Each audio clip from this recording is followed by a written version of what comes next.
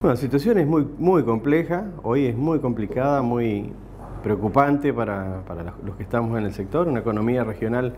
que viene perdiendo la competitividad hace tres años ya, este, porque bueno, la inflación viene pasando por encima el tipo de cambio y al ser una producción con dos tercios de su producción de saldo exportable, obviamente que le pega directo este, a la competitividad esa situación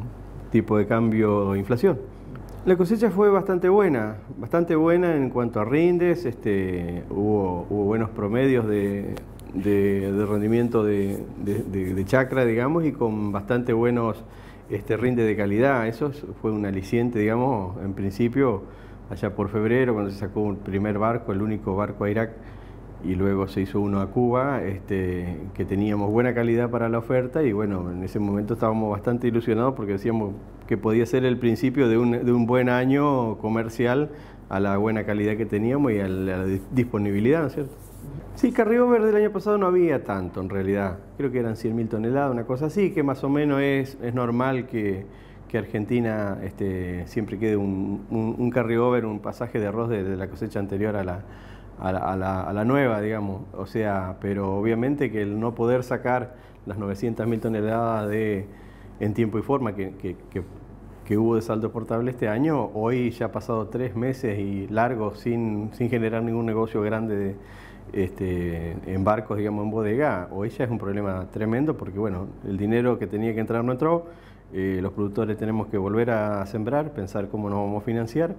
y el tiempo de, que nos queda hasta el 28 de febrero, el tiempo comercial, digamos, mm, va a ser muy difícil sacar todo ese, ese stock que queda por una cuestión de capacidad molinera. Si saldría en negocio, obviamente que para el año que viene algún carryover importante va a quedar. Y hay un dato que hay que tener en cuenta y no hay que olvidar de ninguna manera cuando se habla del arroz y se habla de la provincia de Entre Ríos. Porque si bien Entre Ríos es la segunda eh, provincia productora de arroz, primero está Corrientes, Santa Fe es tercero, entre Ríos es donde está la industria argentina del arroz. El 80% de la industrialización del arroz se hace en la provincia de Entre Ríos. Entonces, por un lado, si seguimos perdiendo hectáreas sembradas y el arroz se sigue yendo hacia Corrientes o hacia Santa Fe, vamos a empezar a perder las industrias. Y si no hay arroz, las industrias o no hay para exportar arroz elaborado, las industrias van a empezar a parar y este es uno de los problemas que empiezan con el tema del despido de personas.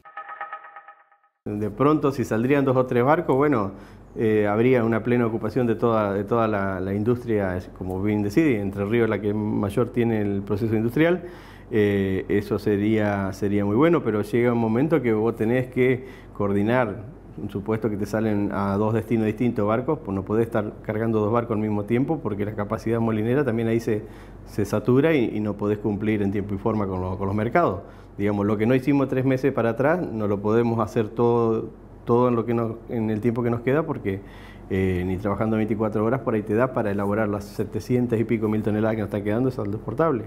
Y los precios no son malos, los precios históricamente son buenos. Pasa que el problema nosotros seguimos, volvemos a lo mismo, lo seguimos teniendo acá adentro. Cuando convertí ese dólar a, a 9 pesos, este, eh, no nos da para cubrir eh, los costos, mano de obra, toda la energía y todo lo demás, todo lo que son los costos, y un factor importante que estamos teniendo como por ahí comparándonos con Uruguay, que es nuestro, nuestro vecino mm, eh, con el cual nos, medimos, digamos, es que ellos tienen, por ejemplo, costos de logística muchísimo menor, nosotros tenemos más de 100 dólares para llegar al puerto de Zárate, ellos están saliendo por Montevideo directamente de ultramar, nosotros tenemos que hacer, el mejor de los casos, concesión de Uruguay y Zárate, dos puertos, eso nos beneficia un poquito por el flete de camión, pero obviamente que los barcos te cobran unos dólares más para entrar. Eh, entonces nosotros con, respecto a ello tenemos esa, esa desventaja. Y bueno, y sí, el precio internacional viene bajando. O sea, hay, hay un tender en, Irak y ellos solicitan, 105, por decirte un número más o menos, 150 mil toneladas y tienen oferta por 400 o 500. Entonces, eso hace que el mercado vaya a la baja. Pero ya te digo, de un precio que históricamente es muy bueno, este, a los 500 dólares más o menos, que hemos tenido épocas de 200, 200 y algo de dólares. Pasa que era otro dólar o, o los costos estaban acomodados de otra forma. Mm, así como está, eh, hoy por hoy sí, eh, eh, es complicada, no sé si inviable, pero es, complicada. Nosotros necesitamos este, rápidamente alguna, algún cambio de variable o alguna ayuda para llegar a... Porque a veces uno dice, bueno, tiene que devaluar. Sabemos lo que hace una devaluación con el resto de la sociedad, ¿no? Por ahí nosotros somos muy conscientes, nosotros lo que queremos es llegar a encontrar competitividad sin que sea lo menos dañoso para el resto de la sociedad. El asalariado es el que, el que sufre más el impacto de una devaluación. De eso, digo, somos conscientes de esa situación. Lo que sí que no tenemos que mover rápidamente, por eso lo estamos haciendo con, con el gobierno y con quien tenga algo de poder eh, para, para cambiar esa situación, para, para ver. Hoy que nos saquen las retenciones sería muy bueno, pero ya hoy no alcanza, digamos, el 5% de retenciones, que es un absurdo para un producto que está eh, elaborado en origen es un absurdo, pero hoy ya es medio corto también para recomponer la, situación de competitividad. Y uno de los mercados que se ha desarrollado en el arroz es el mercado venezolano, donde Brasil hoy está llegando mejor que la Argentina y le está ganando licitaciones a nuestro país porque tiene mejores precios, mejor competitividad, que es lo que viene hablando Claudio Francú en toda esta nota. Sin embargo, se viene hablando de la posibilidad de eh, exportar nuevamente con convenios especiales entre Argentina y Venezuela arroz cáscara, arroz sin elaborar y de esta manera que llegue al productor eh, un precio mayor de lo que está pagando la industria. Este es un arma sumamente peligrosa o una herramienta peligrosa para desentender cómo es el negocio y lo que significa la generación de valor.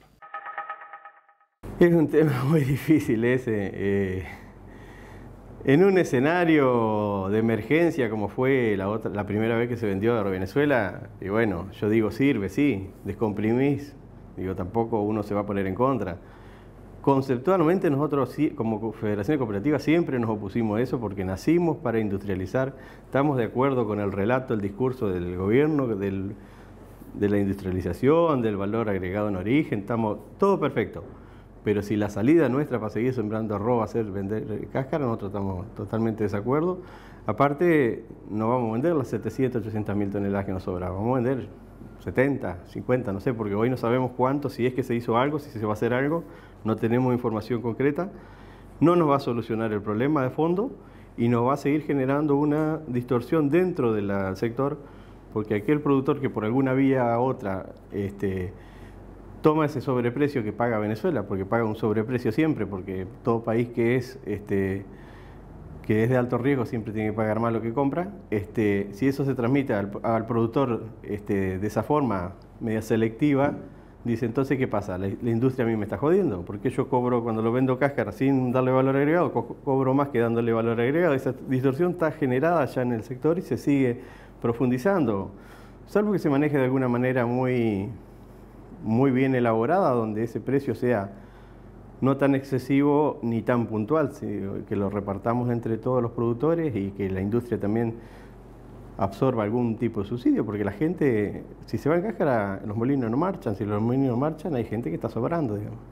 Es así de claro. Y estamos muy cerca de que empiece a sobrar gente. Y estamos muy cerca de que empiece a sobrar gente. siempre el industrial trata de aguantar todo lo más posible porque tiene esperanza en que haya un cambio, en que las cosas se reacomoden, que digamos que siempre es positivista, digamos, quiere ir para adelante, pero eh, llega algún día, bueno, estamos viendo ya algunas noticias en algunas avícolas que, que las cosas llegan a un final y bueno, cuando se puede aguantar más, es siempre este, hilo corta por lo más delgado, o sea, porque no hay, no hay manera, no hay manera de seguir sino.